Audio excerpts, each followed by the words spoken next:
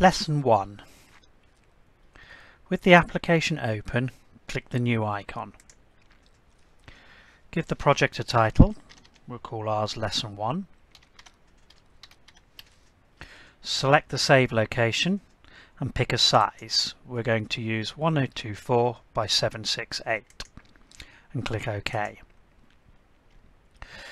The first thing you'll see is the white background of the scene.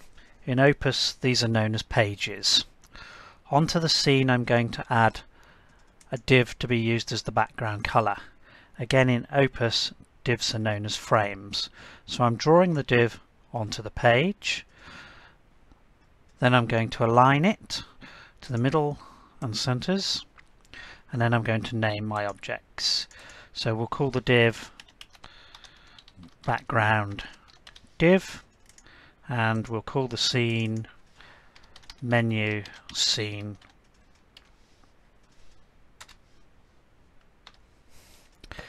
Now I'm going to add an image to the scene. So I select the image option. My image is on the desktop City of London and there's my image. Now I want them to be the same size as the background. So I'm going to select the image control select the background going to right click on the background, go to arrange, size, make the same size. And I also want to align them to each other. First thing I need to do is untick align to parent because I want to align to objects, align to the left and align to the top and the two images are aligned.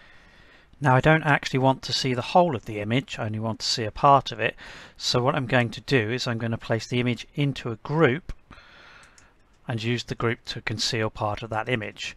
So I'm going to right click on the image, go to group and group. You can see the image there is inside group 1. I'm going to select just the image, so the image is now selected and I can move it and you can just faintly see the outline of the group, which obviously is no good to us because we want to hide the overlap. So I'm going to go click back on group, go to the option that says overflow and select hidden and you'll see that part of the image is now disappeared. So I'm going to click back on the image and continue moving it to the location to show just the part that I want. I want that part and I want to hide from the other side so I'm going to select on the group and change the size of the group to about there. I've now got my image. I can lock the image in place after I've renamed it. Let's call this London image and I'll lock it in place so I can't change it. I need to move that group to the other side so I'll select the group, select the background and right align Let's give the group a name and call it London Group. Now before I carry on I'm going to click the save button. And what I want to do next is I want to change the colours to give me the effects that I actually require and I'm going for a sort of a historical look. So I'm going to select my image, I need to unlock it. Let's move slightly, let's undo that. Select the image. And I'm going to use this setting to change it to a more antique look and that's the look I want. I also want to change the blue div so I'll select the background go to there select the color of the div I'm going to pick it from the image that I've already changed. I'm going for about that. Possibly slightly darker if possible.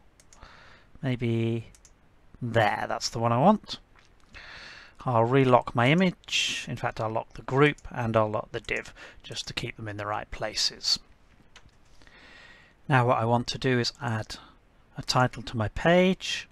So I click on the text box move it to approximately the right position set it to about that size and I'm going to call it the City of London. I'm going to right align that.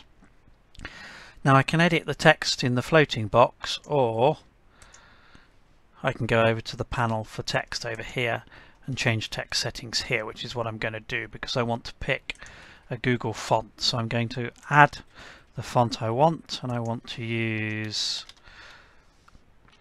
a font called Quicksand. So I select Quicksand add it to the document click OK slightly too light so I'll make it bold. And I'm going to need to increase the size to about 30 slightly bigger than 30 let's go to 36 that's about right. Uh, position it about there. Let's give that a title. Let's give that London title and I'll call it TB for text box so I know what it is Underneath that I need to add a blurb, so I'll add another text box. Position it and you can see the red alignment guide, so I'll position it to the left of there, size it to approximately that size and bring it down and I'm just going to copy and paste some holding text for now. Let's put uh, that in probably. Copy that into there. Control V. I'm going to justify it. I need to bring the box down to make it about the right size and nudge it up using the arrow keys to that's where I want it. I need to change my fonts to match to Quicksand and I think that's about right. So rename that to blurb text box and we'll save it while we're at it. So, next we need to put in our buttons to take them to the different parts of our publication. The first thing we'll do is we'll add the scenes we require. So I'm going to make the scene area slightly bigger and I'm going to right click and I'm going to switch to grid so I can see them in smaller size. Now I need five new scenes, so I'm going to add a blank scene. I'm going to call that scene Eye scene because the first attraction is going to be the London Eye. I'll add another scene and I'll call that Palace because the next attraction is going to be Buckingham Palace. My third scene is going to be Hyde Park, so we'll call that Park scene. Fourth scene will be British Library, so we'll call that Library scene. And our final scene is going to be the home of Sherlock Holmes, so we'll call that Street scene. We can see all of our scenes set out here. I click back on my menu scene and spotted a spelling mistake so we'll fix that while we're here. Menu scene and we'll save the publication again. Now before we continue and we add our buttons to take us to the different parts of the scene we need to make one quick change. You'll notice that when we click on any of these scenes, there's a value set up here called auto advance. And that will basically mean that the page will jump to the next scene once whatever's on the timeline is complete. We don't want to do that. We want to control when we go to the next scene by using our buttons. So I'm going to select all of my scenes. Use the control key. I'm going to untick auto advanced and then we can see that it's actually been deselected on all of those scenes and it will only change scenes when we tell it to. So we're back on our menu scene again and we're going to add our first button. Again we'll use a rectangular div, draw it onto the scene and we drag and set, we can set the left using the alignment guide and the right using the alignment guide. We're going to need a colour, so we select the background colour of the div, and again we'll pick it from the image, slightly darker I think. That's about right. I'm going to give it a title, and the first place we were going to go to was the London Eye. Let's rename the button. I'm going to call it IBT for short. And I don't want it centered, I want it aligned to the left. I need to change the font to quicksand. And also I'd like to give it a bullet point. So I'm going to click back in again and you'll see the floating bar. And I'm going to select a bullet from here and I'm going to use circles. I also think it's slightly too small, so I'll bring it up to 0.22. Mm, maybe 0.26. Yep, that looks better. So I've got my first button. I'm going to Control C, Control V to create a copy, align it correctly, click in, change my text this time to Buckingham Palace. Again, give it a bullet point. Click out and check, that's right. Control V again. Bring that down.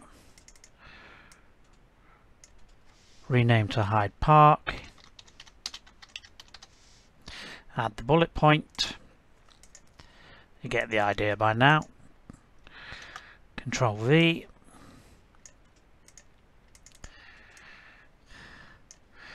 Let's call this the British Library. Bullet point. And the last one, our home for Sherlock Holmes, 122B Baker Street with a bullet point. Now, as you can see, they're all left aligned, but the spacing between them isn't quite right. So what I'm going to do is I'm going to select them all. I'm going to select them from here this time. They're all selected. I'm going to right click on my divs. Again, I'm going to go to arrange. I'm going to go to alignment this time and I'm going to space vertically and you can see that the spacing between them all is now equal. At this point I'll save again. As these are buttons we're going to want them to react when the cursor goes over them. So I'm going to select my buttons but before I do that I'm going to rename them. So this is Palace button this one is Park button. Library button. And Baker Street button.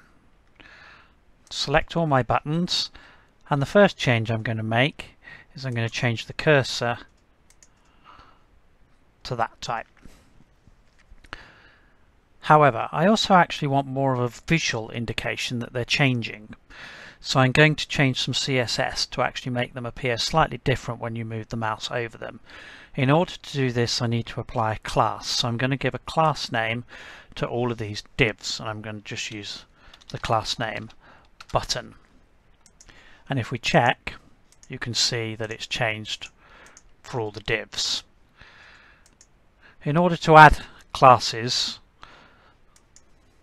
we have to edit CSS, write a tiny bit of code, we use dot because it's a class, give it the name we use which was button, in this case we need the hover state and open and close curly braces. And I'm going to make quite a simple visual change and I'm going to change the background color. So we'll use the CSS background color and Saola gives us some choices. I'm going to use grey as a colour I could actually put a value in here. And I'm also going to set it to important. Now with Saola you don't always have to set it to important to override an inbuilt style um, but it's probably best to use it. And the other thing is not all CSS will actually work in here the way you think it will work so it's a little bit of experimentation sometimes. If I save that I should actually see it reflected in the editor and I'm going to save the project. Before we add the actions to send our buttons to the different scenes we're going to preview our project in our default browser. We have three options we can preview the current scene in the browser, we can preview the project in the current browser, or we can export the project to HTML and load it up in our default browser. We're going to do the latter. So I export and I choose open. And it's loaded it into Firefox Developer. As you can see, the project is the size we set it at, and it's aligned to the top of the page. We actually want it to scale to fit the size of the screen and we also want it to be centered in the page. So close the browser and change these options. The first one we need to set is the auto fit that will scale it to fit the browser window. And the second one is to center both horizontally and vertically by just choosing center. Save the project and again preview in the browser.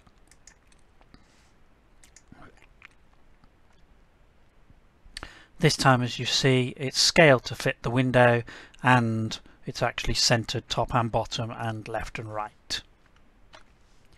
Again close the browser. Now let's put in an action that sends the London Eye button to the Eye scene. So we have various ways of doing this. We can select the button and right click, add an event handler, or again with the button selected click the event handler in the panel over here or the third way of doing it is to click the action that we can see in the timeline. So I'm going to do right click, event handler brings up the dialog button with all the different types of events that we can choose from.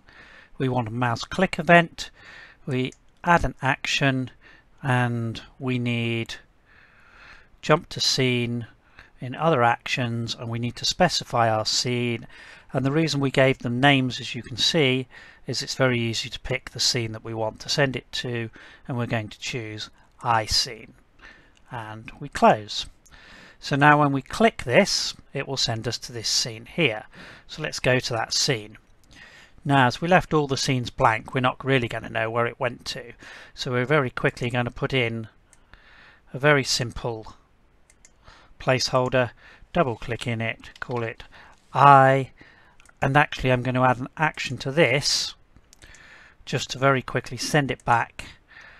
Other actions jump to scene and I'm going to send it back to the menu scene. So if we save and publish and we open it up Again, we move our mouse over, we can see the, the visible state change. And if I click on the London Eye, it takes me to the Eye page. I click that, it will send me back again so I know it works. Now I need to repeat this on all the different pages. So close the browser, click on there. Now the quickest way to do this is to copy all the event actions, paste it onto each button and if you're paying attention you'll realize that that's going to send every single button to the eye scene so we just need to go in and change the scene it's jumping to. What you can also see is that all the buttons down here the event indicator has actually changed to orange to show you which of your objects have events on them. So we'll start with Baker Street and instead of going to the eye scene we will change it and we're going to the street one British Library. Change that to library. Park likewise. And last but not least, Buckingham Palace scene.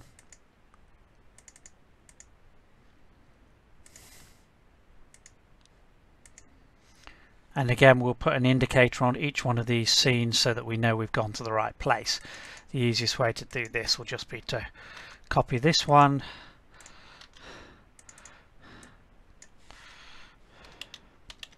We don't need to change the event because it's all going back to the main menu.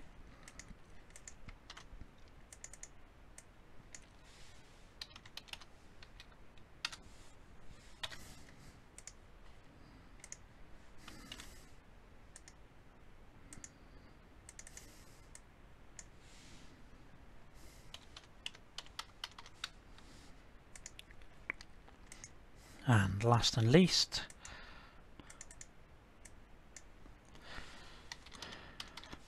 street. So they've all got buttons on them that indicate which scene they are and the buttons will send them back to the main menu. So save, publish, export and open.